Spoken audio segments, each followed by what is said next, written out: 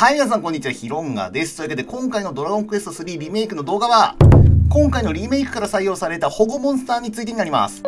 なんとストーリー序盤、ロマリア地方だけでも、なんと10体以上のですね、モンスターを保護することができます。10体のモンスターを保護して魔物使いを使用していると、魔物呼びっていうもう最後までめちゃくちゃ使えるぜっていうチート技を覚えます。イシス到着前にこの技を覚えてしまうとめちゃくちゃ強くてストーリー進めるの楽ちんなんですけれど、保護モンスターが増えれば増えるほどダメージもアップするっていうことで最後まで使える技となっております。さらに序盤って金策だったり装備品が揃わなかったり結構攻略大変なんですけど、ロマリアのバトルロードも楽々攻略できます。というわけで改めまして今回の動画はロマリア地方の保護モンスター10体、詳しい場所と出演条件を紹介していきたいと思いますので、ぜひご参照いただければ嬉しく思います。ちなみに今回の10体中の1体だけなんですけれど、盗賊の特技忍び足が必要なモンスターがいます。盗賊18レベルにならないと覚えない技となってますのでそちらの方だけご注意ください。それでは本編いってみましょ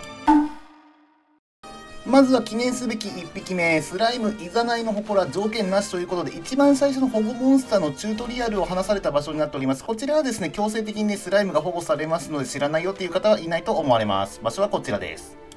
そして2箇所目のモンスター、ホイミスライム。場所はカザーブなんですけれど、条件の方が夕方のみになっています。え夕方まで歩くの大変だよっていう方はですね、宿屋の方で休むを使って夕方にしてください。するとホイミスライムが現れます。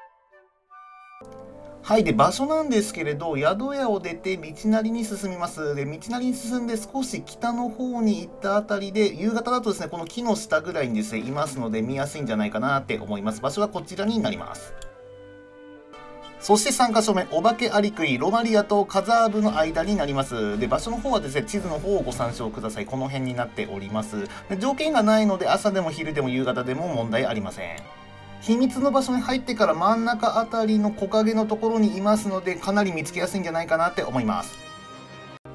はい、そして4匹目ですね。カザーブまでで4匹手に入るんですけれど、ちょっとね、こちらですね、条件が厳しいので後回しでもいいんじゃないかなって思います。モンスター名がアルミラージ、そしてロマリアのお城にいます。で、条件が夜と忍び足が必要になってきます。忍び足がない状態で近づいてしまいますと、アルミラージに逃げてしまいますので、盗賊のレベルを18まで上げる必要があります。盗賊って攻撃力が弱かったりとか、ちょっと序盤に連れていくとですね、難易度が上がってしまうので、すぐにですね、盗賊を仲間にしましょうとは言わないんですけれど、やっぱ忍び足が必要になってくるシーンっていうのはですね、保護モンスターで必須になってきますので、まあ、どこかのタイミングでですね、盗賊18レベルは用意した方がいいんじゃないかなと思います。私自身も盗賊は連れていなかったので、まあ、この動画のためにですね、忍び足を覚えさせたので、今回ね、初めてアルミラージの方が仲間になりました。ここで仲間にできなくってもイシスに着いた時にはですねもう10匹目のモンスター仲間になるのでそんなに差はないんじゃないかなって思います。それでは次の方行ってみましょう。5匹目のモンスター魔法使いです、まあ、カザーブの西に行った森の奥というところでしょうか。地図の方をご参照ください。そして条件の方が夕方か夜となっていますので昼に着いた場合はですねラナルータそしてね闇のランプなどを使ってください。場所は入ってまっすぐ上に行ったこちらの木の影といった場所でしょうか。ここで堂々と突っ立ってますので見つけるのは簡単だと思います。それでは6匹目のモンスターアルミラージエルフの隠れ里の前っていう感じでしょうか。条件の方が朝と昼となってます。場所の方は地図の方をご参照ください。先にロマリアのアルミラージの方紹介したんですけど普通にストーリーを進めていたらおそらくこちらのアルミラージを最初に仲間にするんではないでしょうか。アルミアラージの隠れ里のところは入って岩のところにいますのでぜひ保護してあげてください。7匹目のモンスターはデスフラッターエルフの隠れ里にいます。条件が夜となってるんですけれどやっぱ隠れ里っていうだけあってちょっと見つけにくい場所になっています。早速中に入ってデスフラッターの方を探していきましょう。エルフの隠れ里に入ったら左の方にまっすぐ進んでください。そのまま左端の方にデスフラッターの方は隠れています。こちらですね。背景と同化しているのでエルフの隠れ里夜に行った時なかなか気づかなかったよって方もいるんじゃないでしょうか結構強いモンスターになってますのでぜひ保護してあげてください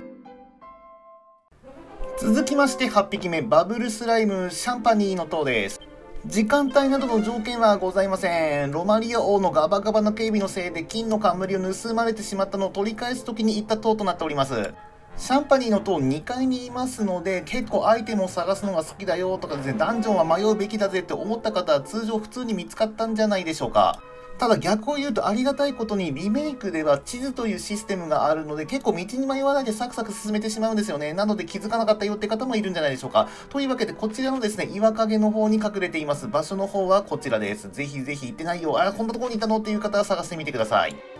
気がつけばロマリア地方に隠れている保護モンスターも残り2匹となりました。9匹目のモンスター、お化けアリクイです。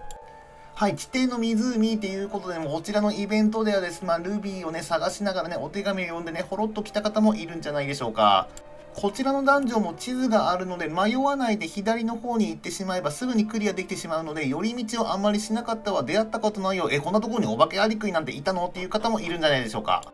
この時点でお化けアリクイは2匹仲間になるっていうことでバトルロードでもだいぶ有利になりますのでぜひぜひねまだ見つけてないよっていう方はですね行ってみてください。はい、ちなみにこの動画でわかることなんですけど、私も見つけておりませんでした。はい、というわけで男女のマップではこちらとなっています。地下2階ですね。ぜひぜひ行ってみてください。はい、それではロマリア地方最後10匹目のモンスターはギズモになります。カザーブの北東にいますので、船がなくても行くことができます。場所は地図上でこちらとなっています。ぜひぜひ助けてあげてください。はい、そしてギズモのいる場所は下から入ってそのまままっすぐ上に行っていただければ真ん中にちょこんとね、ふわふわ浮いておりますので、こちらの方で話しかけてください。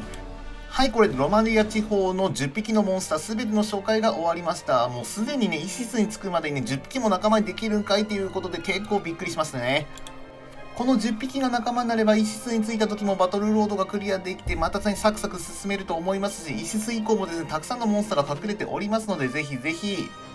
次回の動画もお楽しみいただければ嬉しく思います。というわけで最後までご視聴いただきありがとうございました。またね